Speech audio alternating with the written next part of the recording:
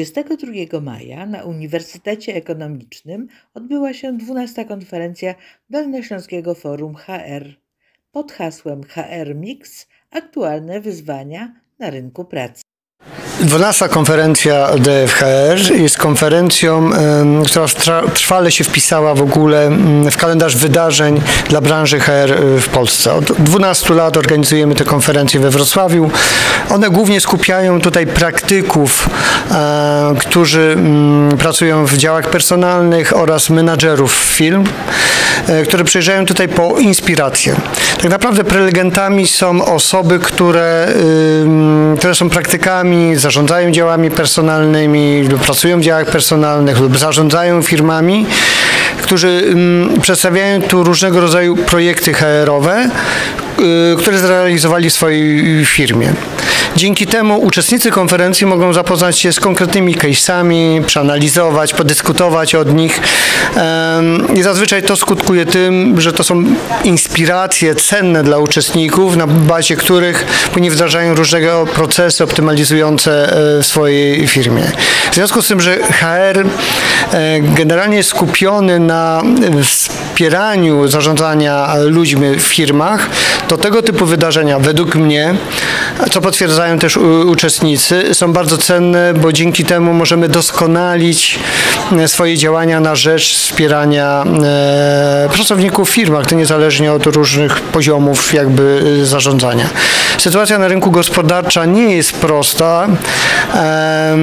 Sytuacja na rynku pracy też nie jest prosta. Jest nadal mamy trudność z pozyskaniem pracowników do, do pracy, więc szukanie różnych sposobów na utrzymanie pracowników w firmie, żeby zwiększyć ich dopasowanie kompetencyjne, żeby e, chcieli pracować w firmie, a nie byli jakby przymuszeni do tej pracy, czyli żeby to wynikało z ich wewnętrz, wewnętrznych e, motywacji. To jest marzeniem, myślę, każdego HR-owca.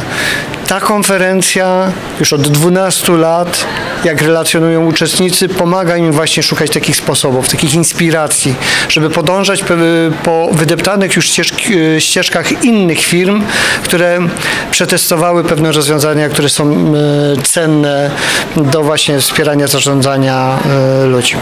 Taki jest cel jakby tego, tego wydarzenia.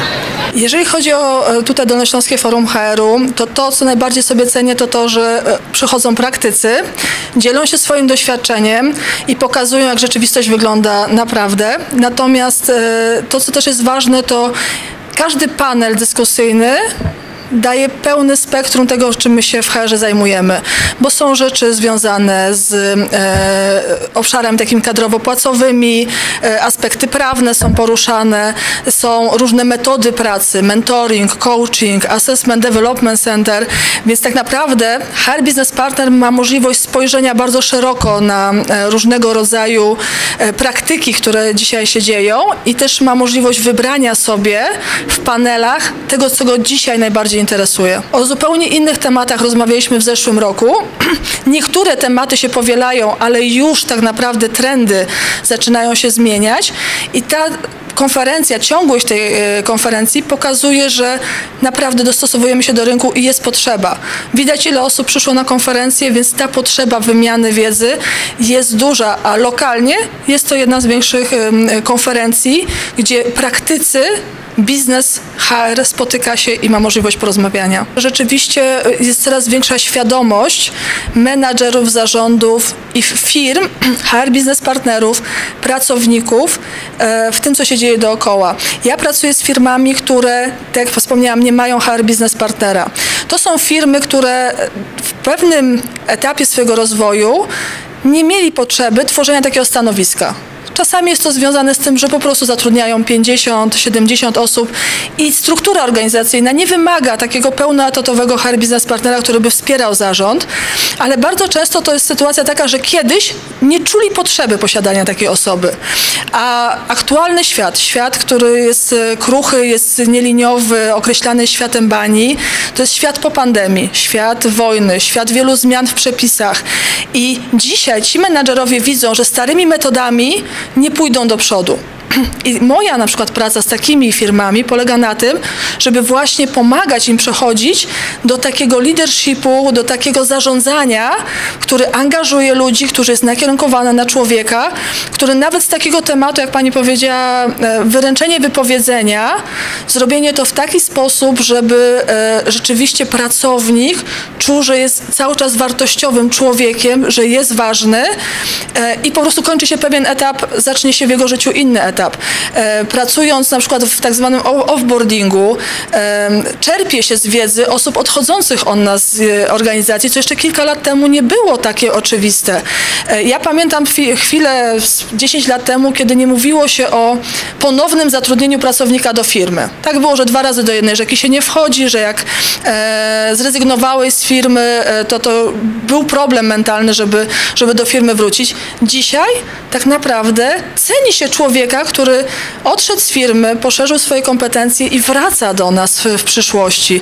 Więc myślę, że świat się zmienia i bardzo fajne, że dzięki takim konferencjom możemy szeroko o tym porozmawiać, w jakim kierunku my musimy się zmienić, żeby dostosować się do tego, co jest w świecie.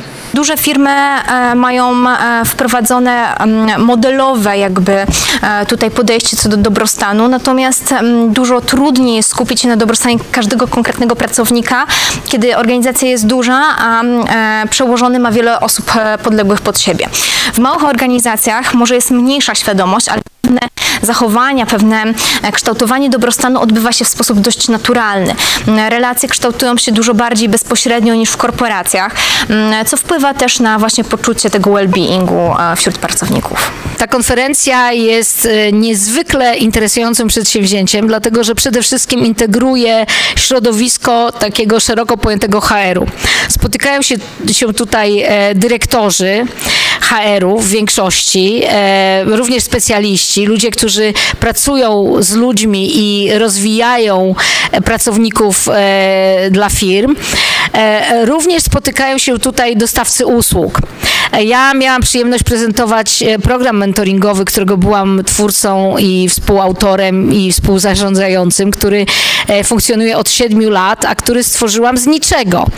E, my tutaj dostajemy bardzo wiele inspiracji, dlatego że mamy szansę na to, aby uczyć się z doświadczeń naszych kolegów, bo mm, te problemy, na które napotykamy, są uniwersalne. Problemy z dotarciem do talentów, z utrzymaniem pracowników, ze zmotywowaniem ich do pracy. I tutaj ja wychodzę niezwykle zainspirowana i zmotywowana do tego, aby czerpać z tych doświadczeń kolegów których tu, i koleżanek, których tutaj poznałam, e, jak również z badań, które były prezentowane.